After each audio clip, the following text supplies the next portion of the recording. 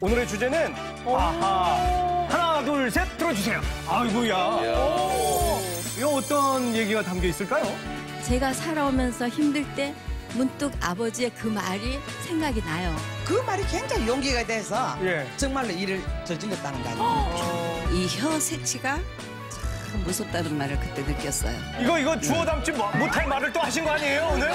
최 여사 날 믿지? 내가 최 여사 사랑하는 거 알지? 세대 공감 프로젝트 시니어 토크쇼 황금 연못